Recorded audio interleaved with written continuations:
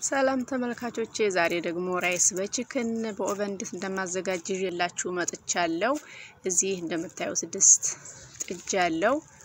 እሳቱን አበራለሁ። መጀመሪያ ላይ ያው እንደተለመደው ዘይት ነው የምንጨምረው። ብዙ አልጨምርም፣ ትንሽ ዘይት ጨምሬበታለሁ። ከዚህ በመቀጠል ያው የተለያዩ ቅመሞችን እጠቀማለሁ። black pepper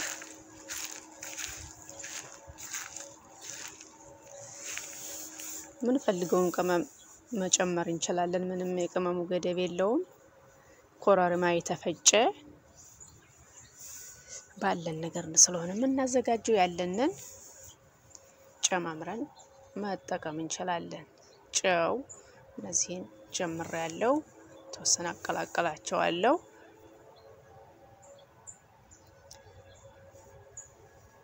እንደዚህ ትንሽ አቀላቅለውና አጥቤ ያዘጋጀሁት ቺክን ሌግ ወይም የዶሮ እግር አለኝ።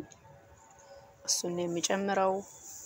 እሳታችን ያው መጠኑን ቀነስ ማድረግ አለብን።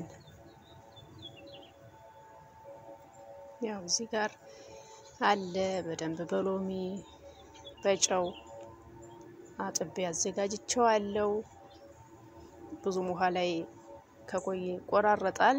እንደዚህ እያደረኩ ጨምራለሁ።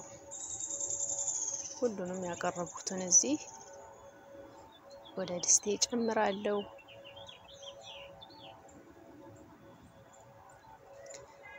ድስቱ እስከሚይዝልን ወይም የምንፈልገውን አንድ ማዘጋጀት የምንችለውን ጨምራለሁ። እንደዚህ አድርጌ ያው እየበሰለ ነው። አሁን ላይ ደግሞ rice ኡን ወይም ሩዙን በዚህኛው ድስት በጎን እሰራለሁ። ዘይት ጨምርበታለሁ። ጎን በጎን ሁለቱን መስራት ስለምንችል ምንም ችግር የለውም። ልክ እንደዛኛው black pepper ያለኝን ቅመሞች እዚህኛው ላይ እጨምራለሁ። ተፈጨ ኮረሪማ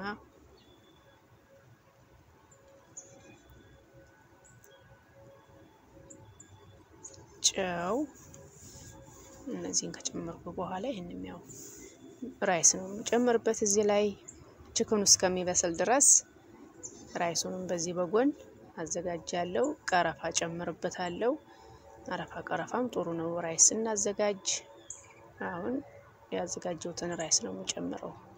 rice ኡንም በደንብ አጥቤ ትንሽ ውሃ ውስጥ አቆይቸዋለሁ። ውሃ ውስጥ የተወሰነ ሲቆይ በደንብ ይበስላል ወይም ረዘም ረዘም ያለ ይሆንልናል። ቆንጆ color ይሰጠናል። እንደዚህንም ቀላቅልና ብዙ አይበስልም። oven ስለሚገባ የተወሰነ የተወሰነ ነው። ግማሽ ግማሽ percent ኡ ከበሰለ ይበቃዋል። oven ውስጥ ስለማስገባው ብዙም እዚህ ላይ እስከሚበስል አላቆየውም። ውሃ ጨምርበታለሁ።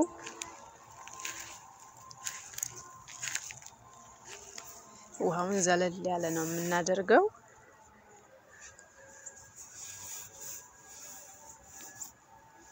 እንደዚህ እናቀላቅለዋለን ቅመሙ ጋር ጨው ጋር ከድነዋለው። ያው የተወሰነ መብሰል ስላለበት ይመስላል። ይሄኛውንም check እያደረጉ እያየው chicken ም በጣም እንዳይበስል እንዳይቀረውም check ማድረግ አለብን። ቁጭ አድርገን ብቻ መተው የለብንም። check እያደረግን እናየዋለን። ሀምሳ percent ሲደርስ ብያችኋለሁ። rice ኡንም chicken ኡንም ጎን በጎን check እያደረግኩኝ የምፈልገው መጠን ላይ እስከሚደርስ ይበስላል። ያው ይሄንም የተወሰነ ማገላበጥ አለብን። እናየዋለን። ያው እንደዚህ ሆኗል። አወጣዋለሁ። እሳቴን አጠፋለሁ። rice ኡ already ይበቃዋል።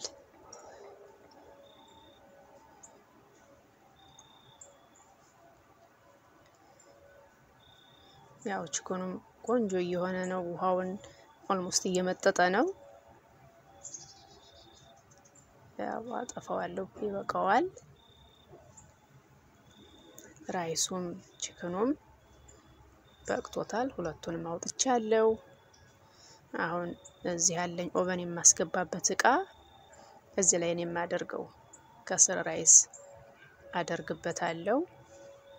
ራይሱን እንደዚህ ከስር ላይ እናስተካከላለን። ከዚህ ላይ ችግሩ ነው የምጨምርበት። እንደዚህ እያደረግን የጨመርን ማዘጋጀት እንችላለን። ቀላል ስራ ነው። እንደምትወዱት ተስፋ አደርጋለሁ።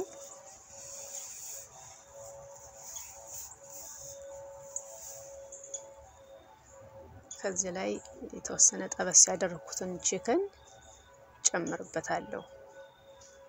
እዚህ እያስተካከልን እናስቀምጣለን ከ rice ኡ ላይ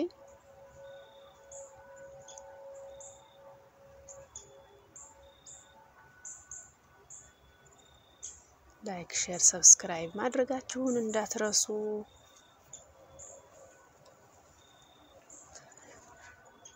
እንደዚህ እያዘጋጀን በማንኛውም ሰዓት ለልጆችም ቆንጆ ነው። ቀለል ያለ ስራ ነው። ብዙ ሰዓት አይፈጅም።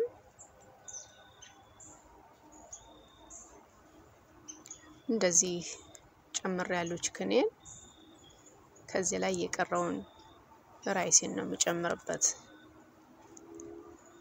ራይሱን ከስርና ከላይ ነው የምናደርገው። በደንብ ችክኑ እንዲበስል ያደርገዋል።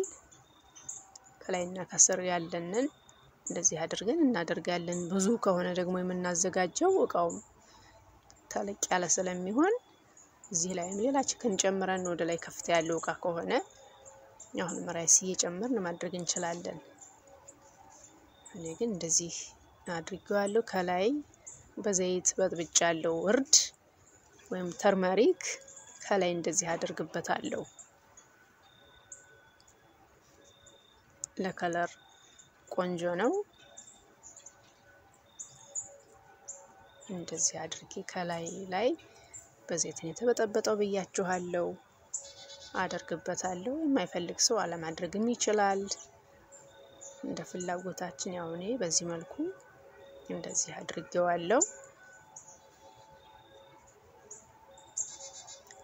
ከዚህ በኋላ እንደዚህ ይሸፍነዋለሁ። በ aluminum foil እንደዚህ ይሸፈናል። እንደዚህ ከሸፈንኩት በኋላ oven ነው የማስገባው። ያው oven ውስጥ አስገባዋለሁ በአራት መቶ ዲግሪ ሴንቲግሬድ ሰጥቼ ለ25 ደቂቃ ብዙም ሰዓትም አይቆይም። almost ስለበሰለ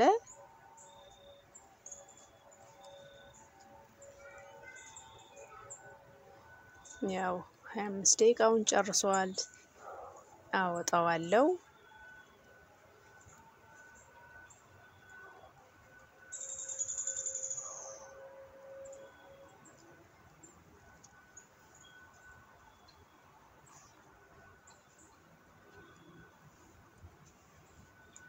ያው እንደዚህ ሆኖ ቆንጆ ሆኖ በስሎ ተዘጋጅቷል። እንደምትወዱት ተስፋ አደርጋለሁ። like፣ share፣ subscribe ማድረጋችሁን አትርሱ።